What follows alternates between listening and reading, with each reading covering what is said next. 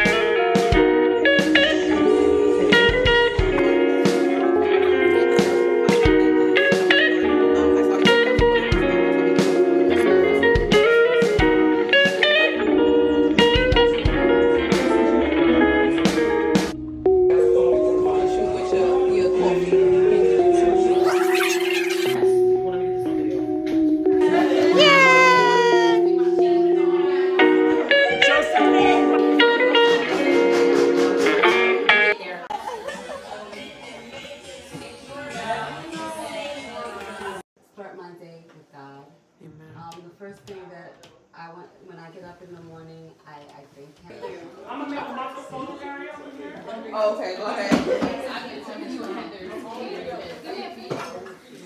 Child, walk heavy and look light. Yes. Y'all go follow Marie on Instagram. See, I've been doing these poses. I, I need to go to classes. Yeah, yeah, Just yeah. knowing how to pose, I'm like, I need classes. Yes, ma'am. Yeah, like. Angle, angle. Yeah. in certain behaviors and having certain habits like that, it causes you to shrink yourself so much and so often.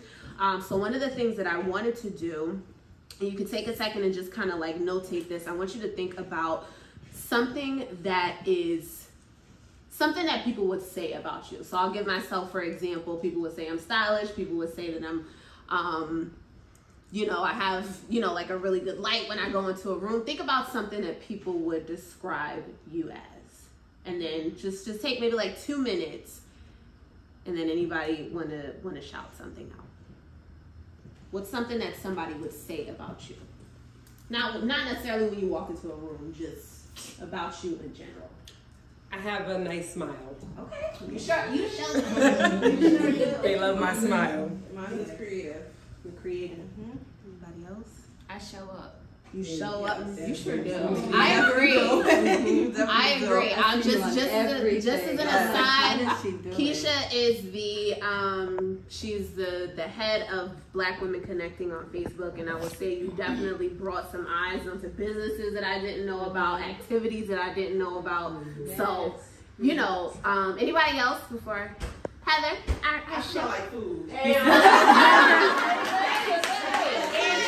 But in that one specifically, you could take that and be like, oh, I don't smell good. But that means that she's It's a a- bomb it's a cook wrap. and she's gonna be a So there are also there are also things that people may have said about us that we might have like shifted the narrative about. Like, oh wow, like you're really tall.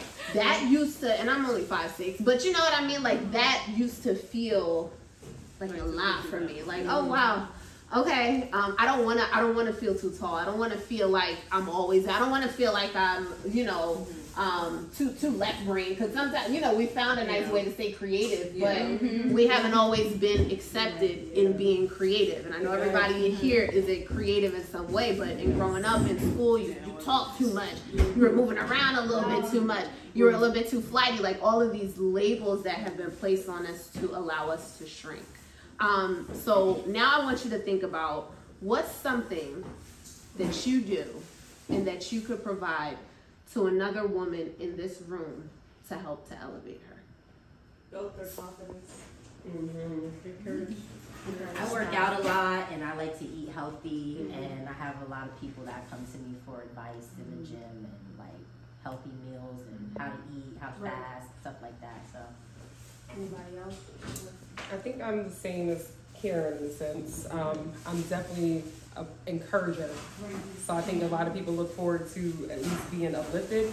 Yes. Just to move in a direction, though I might not be able to provide you with all resources, I at least try to extend it. to give In you a sense, something. so- Absolutely. Yeah. Um, so I'll say, um, when I started Faith and Fashion 360, which is which is my blog, well, it was a blog. It started off as a blog. Now it's a now it's a radio show, getting nominated for awards and all this other fantastic stuff. But when I first started it, thank you, thank you, thank you.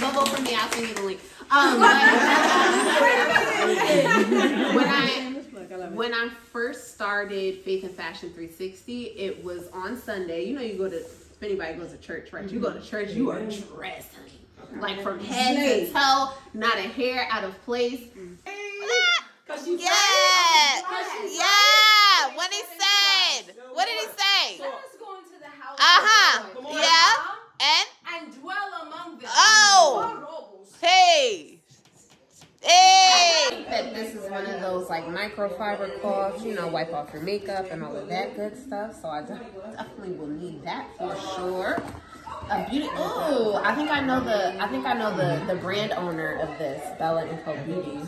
Is that you? That might be me. I Oh, I think that's really? me. I don't. I, I will take it. that. You did. You gave me. Yeah, I have a couple of my things here. If you want to, you, know, you can give them to somebody else. He gave you the wrong You can give bag. them- you can give them to I think somebody else. that's actually supposed to be Heather's bag.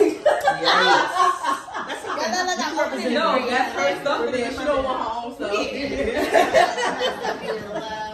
That was a blooper? Plastic pens. And from one of our other sponsors, um, She Reigns, Trish uh, Womack. She has a sustainable female hygiene products brand, um, really speaking to us about why, you know, some of the store brand pads and tampons and stuff may not be the best for us. So she does really good at like education and things like that. So she's got she's got some samples in here as well. So thank you to Jasmine for hosting such a fantastic event. You missed this one, but make sure you catch the next one.